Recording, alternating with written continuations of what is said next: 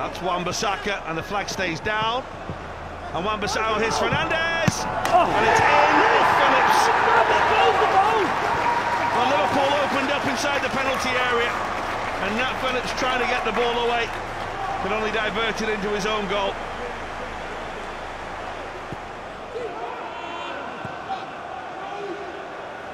No one knows what the law is anymore. That's a shot by Jota, and it's tipped over by Henderson.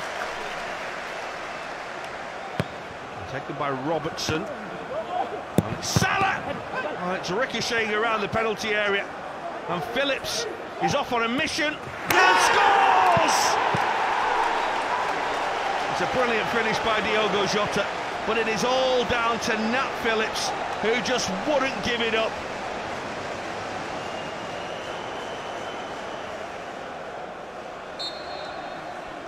Can Liverpool find something before half time? Alexander Arnold and Firmino! Oh, you beauty! Roberto Firmino arrives and he crashes a header into the back of the Manchester United net.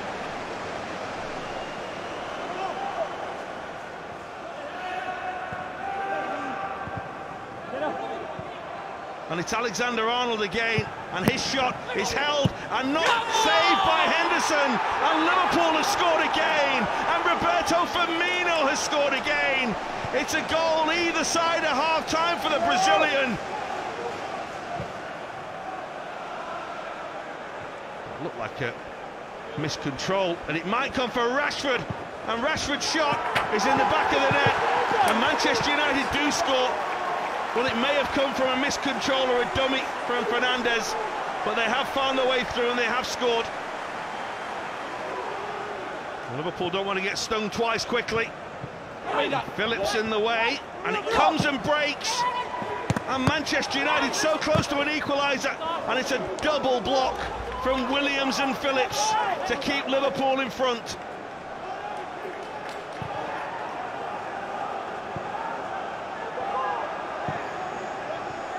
McTominay, Matic steps away from Salah, and now Liverpool can catch them on the counter-attack, and it's Mohamed Salah for Liverpool.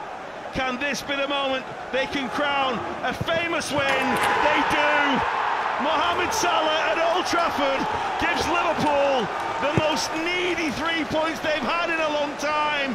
Salah wearing the captain's armband and crowns a glorious Liverpool victory. Oh, yes. Oh, yes.